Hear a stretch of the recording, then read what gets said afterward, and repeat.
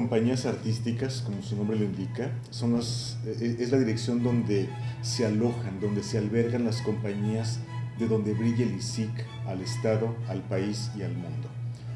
Aquí, en esta dirección, eh, se encuentran compiladas, vamos a llamarlo así, la Orquesta Sinfónica Sinaloa de las Artes, la Banda Sinfónica Juvenil del Estado, la Compañía Danza Joven, eh, la Compañía Teatro de Calle, eh, el Ballet Folclórico de Sinaloa y también un grupo de animación cultural de payasos.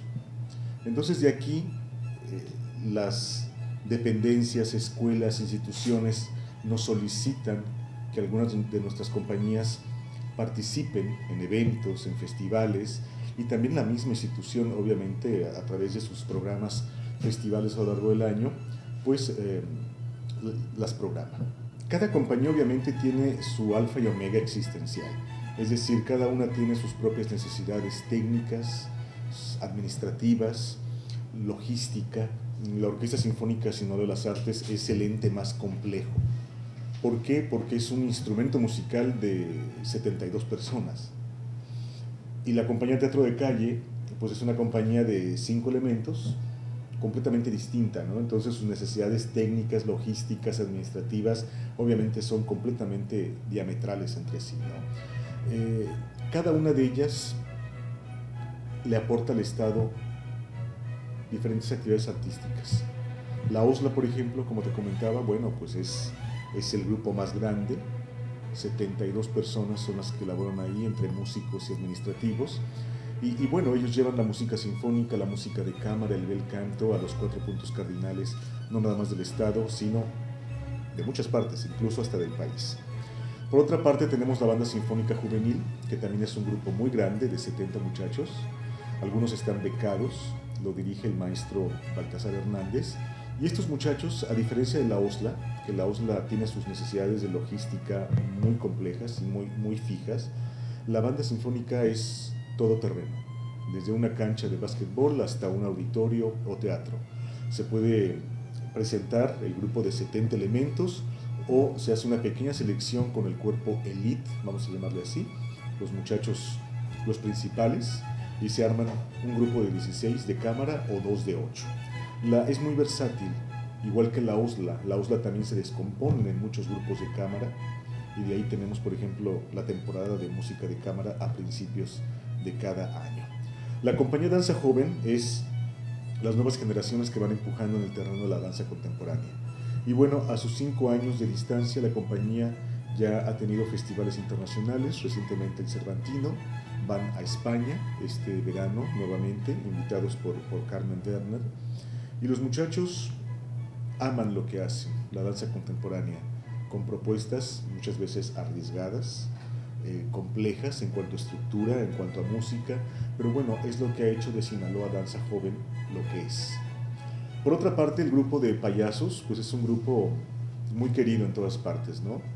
Si la universidad tiene sus títeres, que también son muy queridos, eh, el instituto tiene un grupo de payasos. Y, bueno, pues son, son payasos con una amplia trayectoria, ya son décadas y con un gran prestigio. Y estos, estos payasos, comandados por, por el célebre Pipica, pues bueno, son las delicias de chicos y grandes en cualquier parte donde se paren ellos ya sea una escuela privada, una escuela pública, un evento de gobierno, un evento familiar para las madres reclusas, en fin, realmente Pipica es, eh, es adorado por todos. Eh, por otra parte, el Ballet Folclórico de Sinaloa es, al igual que la banda sinfónica, una agrupación todoterreno. Y es una agrupación que tiene mucha actividad y representa al Estado más de lo que uno cree. Ellos bailan más fuera de Culiacán que, en el Culiacán mismo, que en Sinaloa mismo. Recientemente estuve en Durango representando al Estado en una feria de turismo y, bueno, eh, la agrupación dirigida por la maestra Olimpia Chávez es, es realmente muy querida también a lo largo y ancho de Sinaloa, con propuestas muy elegantes del, del folclore, no nada más local, estatal, sino también nacional. Y bueno, su recién participación en el Festival Cervantino eh, fue de las más aplaudidas, ¿no? de lo que llevó Sinaloa al, al, Festival Internacional. También falta la compañía Teatro de Calle, que es una compañía joven de creación pero es una compañía necesaria porque el teatro de calle, como su nombre lo indica, puede estar en la acera, en los cruceros, en un mercado, en una estación de autobuses. Es una agrupación que hace teatro con los elementos que se tengan. Una cancha de básquetbol, una cancha de voleibol, eh, el patio de una escuela, bajo la techumbre de una escuela, de un colegio. Y ellos manejan temáticas con técnicas de circo, de pantomima, de teatro, y, lo hace una compañía muy versátil. Y, el teatro de calle poco a poco se está colocando como, como una compañía también muy solicitada de esta dirección. Exceptuando la OSLA, que la OSLA, como te comento, se, se cuece aparte por su cuestión logística y de organización, la, las instituciones, escuelas que quisieran, por ejemplo, al ballet folclórico, a la compañía Danza Joven, a la compañía Teatro de Calle o a la Banda Sinfónica Juvenil, lo que tienen que hacer es dirigirse con nosotros a la dirección de compañías y nosotros ya veríamos las posibilidades en cuanto a agenda y en cuanto a espacio, porque muchas veces requieren o solicitan, desean una agrupación, pero no se cuenta con el espacio correcto, con las medidas, con las necesidades técnicas, y eso muchas veces hace un poco más complejo, eh, puede ser más complejo que una compañía vaya a un determinado lugar. Bueno, pues todas las compañías son muy importantes, pero sin duda alguna algo que la gente, que el culiacanense, el sinaloense ya, ya tiene en la mente, es las temporadas de música de concierto de la Orquesta Sinfónica Sinaloa de las Artes. Recordemos que hay dos temporadas, la de primavera-verano y la de otoño-invierno. Y también hay una temporada de música de cámara entre enero y marzo, enero y febrero aproximadamente es la temporada de música de cámara. Y, bueno, yo creo que es de lo más representativo que tiene las temporadas de la OSLA, ¿no? En donde, bueno, se, se diseña una programación si hay aniversario de músicos o de músico o de obras o eh, efemérides musicales. La, la, temporada se diseña en base a eso, en base también a qué solistas queremos presentar, pianistas, violinistas, eh, jóvenes, maduros, nacionales, internacionales, eh, artistas o compositores locales, ¿no? porque Sinaloa ya a 10 años de distancia de la OSLA ya no es lo mismo. Ya tenemos concertistas sinaloenses de un gran, gran nivel, ¿no? Entonces te digo, eh, las temporadas de la OSLA es de lo más esperado. Y obviamente el Festival Cultural, donde la dirección de compañías tiene un, especial lugar en el desarrollo, en la curaduría del Festival Cultural Sinaloa, que ha regresado con este año, con, este nombre como Festival Cultural Sinaloa.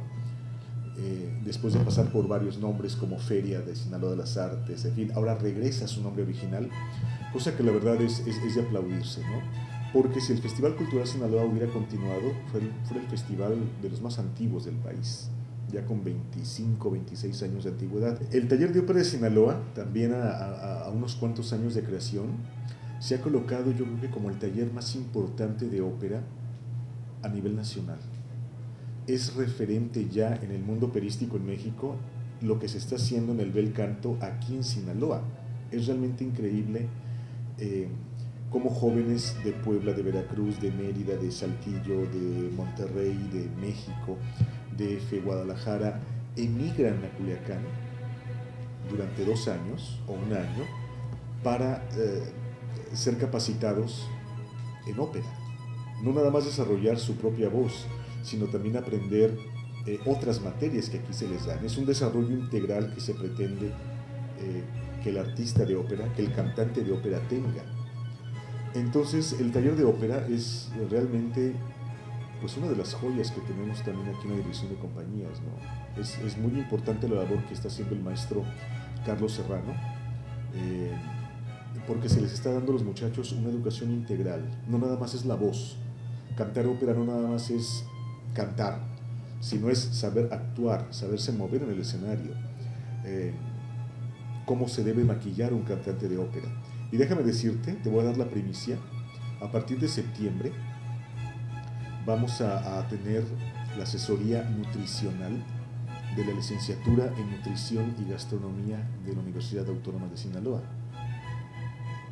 Hemos tendido lazos con la doctora Marcela Vergara, que es la directora de esta facultad, y está encantada. Le digo, ¿sabes qué? El cantante de ópera también debe de saber comer, para poderse ver bien, porque ellos venden su persona, su voz, pero venden también al actor, ¿no? Para actuar en una ópera, en Madame Butterfly, en Don Giovanni, en, Puccini, en fin. Entonces, a partir de septiembre vamos a tener la asesoría nutricional eh, en materias gracias a esta licenciatura en nutrición y gastronomía de la UAS. Para esta segunda parte del año ya tenemos diseñada la programación de la OSLA, por ejemplo. Eh, la temporada que entra, que empieza el 5 de septiembre, si no me equivoco, 5 o 6 de septiembre, inicia con bombo y platillo. Para la temporada que entra tenemos eh, jóvenes concertistas, jóvenes que van desde los 10 años de edad tocando conciertos para piano y orquesta, hasta compositores y artistas locales. Tenemos un concierto para cuatro guitarras que va a haber, es una primicia. Tenemos eh, por primera vez para el concierto de Sembrino, tenemos una, una gran sorpresa con el oratorio de Bach, de Navidad de Bach eh, tendremos estrenos mundiales de obras. Eh, estamos diseñando una ópera. Todo el staff de producción ya estamos trabajando en una ópera que vamos a estrenar el 16 de octubre. Por otra parte, eh, Danza Joven ya tiene también su programación. Viene una compañía, vienen dos compañías españolas a presentarse aquí mediante intercambio de México en escena. Danza Joven tiene ya sus funciones programadas y una función de festejo en diciembre, la función de gala de, de, los cinco años ¿no? de la fundación de, de, Sinaloa Danza Joven. La convocatoria del sexto concurso internacional de canto ya está hecha, estamos nada más afinando algunos detalles eh, y ya está lista para enviarse a los cuatro puntos cardinales. La estrategia va a ser eh, distinta este año entonces la convocatoria se va a distribuir no nada más en México, sino en todo el mundo. Hemos tendido ya lazos con embajadas, con conservatorios, con escuelas de música, desde Islandia hasta Roma, de Roma, Moscú, de Moscú, Tokio, Estados Unidos. Y la convocatoria se va a traducir en cuatro idiomas eh, y se va a lanzar a los cuatro puntos con medios impresos, pósters, folletos en el portal web, eh, vía redes sociales. Y te digo, antes la convocatoria nada más se, se hacía en español, ahora no, ahora va a ser en cuatro idiomas, que son español, inglés, francés e italiano.